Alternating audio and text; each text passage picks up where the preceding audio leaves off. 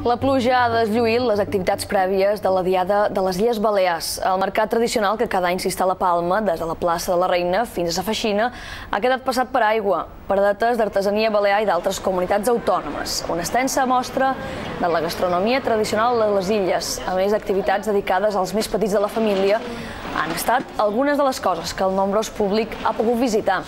El mercat és un dels grans reclams de les, de les activitats prèvies a la Diada de les Balears. Malgrat que la gent ha sortit al carrer, el paraigua ha estat la nota dominant. artesania d'olivera i molt, són molt d'utensilis per emplear la cuina.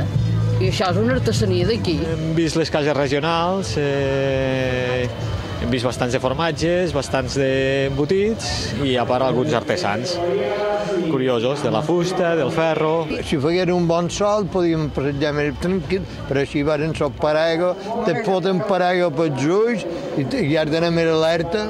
Estamos encantados, además nos va muy bien todos los años y viene mucha gente.